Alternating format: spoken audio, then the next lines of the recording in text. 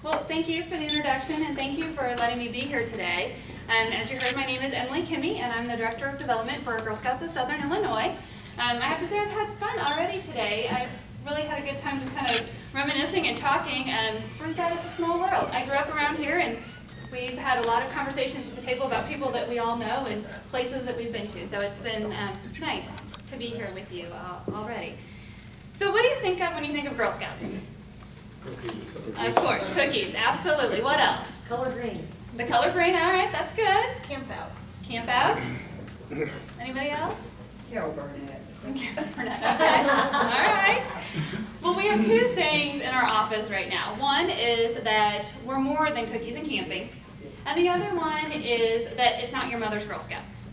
So two topics that are coming up a lot with what we do.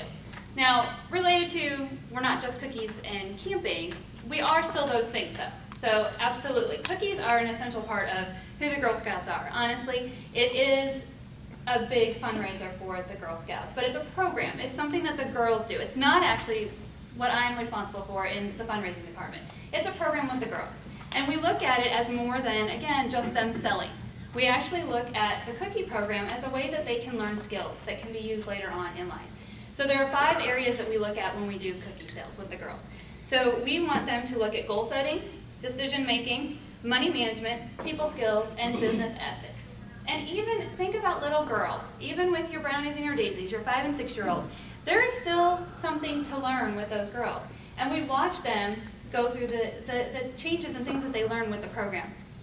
Even some of our own staff have girls who are that age and are Girl Scouts.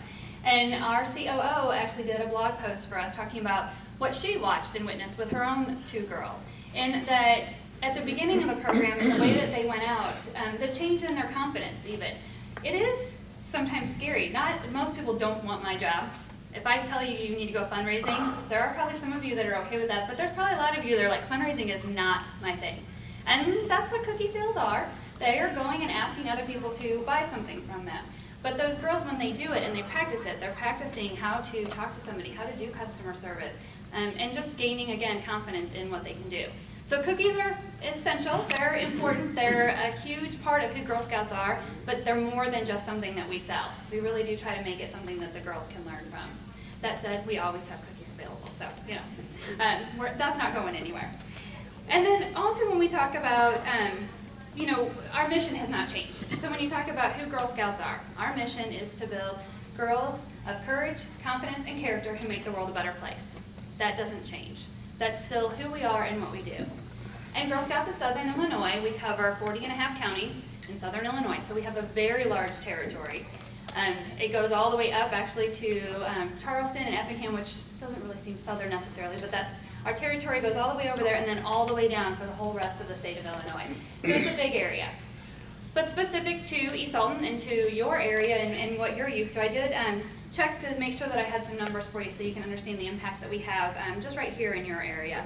So the service unit that East Alton is a part of, it also is comprised of Godfrey, Alton, Wood River, and Roxana. Last year, and this is our previous fiscal year, we're still in a fiscal year, so we don't have final numbers. But last year, we had 543 girls and 172 adult members from that service unit. So quite a few girls are part of Girl Scouts in this area. And the other interesting thing is, again, when we talk about what it is we do and why my job is important in fundraising, is that it does cost money. And there are plenty of girls and even the adult um, volunteers who are helping them who can't afford to be Girl Scouts on their own.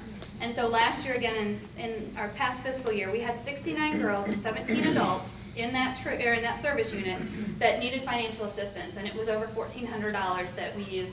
And again, that's just the financial assistance to pay their membership dues and to get them the basic materials, the uniform for the girls, things like that, so that they can participate. And then you're talking about all the other costs associated with programmings and things like that. That's just the basic financial assistance and the amount of money it was for the, the girls in this area. So then again, something else that's still core, I mentioned camping. We do still do a lot of camping. We actually have six properties in our area, in our service area that we maintain. And so we have, um, right now, we're in the midst of camping season. We have lots of day camps going on. So chances for girls, again, to go and try new skills and new ideas out at day camps. But then we also have a resident camp. So we have girls who will go and spend the night and stay for a week or two weeks at our camp in Southern Illinois. It's um, Camp Butterfly in Makanda, Illinois. If any of you grew up Girl Scouts around here, you may have been there or may have remembered it. Um, it's still going strong, 60 year anniversary this year. And so we do have a lot of girls this summer who are spending time down there. Again, related to that though, it's not your mother's Girl Scouts. We're still doing the traditional things you think of that the girls are gonna learn. Outdoor skills, are getting to do archery and swim and, and try all the things, do crafts, all of that, um, still is a part of camping. But we've also gone to the next level of what is it that girls today want and need to learn. And so they do things like geocaching and other science um, programming at these camps. So they're doing newer and updated skills training while they're at camp. Again, how do you make the fun also be learning for them? We always want them to have an outcome of something that they're going to learn as a part of their programming. And last year we had almost half of our girls. Um, we serve, again, I mentioned the 40 and a half counties. We have 14,000 girls in our 40 and a half counties that are Girl Scouts. And of them, about half of them attended a program or attended camp last year, at a camp. So the new part, when we talk about what's changed. Does anyone here know what STEM stands for? Science, technology, engineering. Yes, science, technology, engineering, and math. Very good job. It's kind of a newer concept that not everyone has heard that term STEM. We use it a lot though, because when we look at what is it that we as Girl Scouts need to do for our girls, we have another, kind of our theme right now is to get her there. What does to get her there mean? Well, it means to get her wherever she wants to be. And that includes things like to the boardroom, where women are not represented in the same way, into those science and technology fields. I brought um, some statistics with me. Women only earn 25% of math and computer science degrees. So of all the degrees that are awarded in those categories, only 25% of them go to women. And only 20% of the engineering degrees. There's a big gap there. And the other research that we know, um, Girl Scouts of the USA does a great job in doing national research, research for us to help us to understand, again, what is it we're doing and what are the issues and, and what can we do to get girls where they need to be later on. And STEM is key to that. By fifth grade, most girls, the majority of girls, have already moved on from thinking about careers in STEM, science, technology, engineering, math. So we're trying to get to them before that age and then keep them going after that. And how are we doing it? With a lot of different types of programming.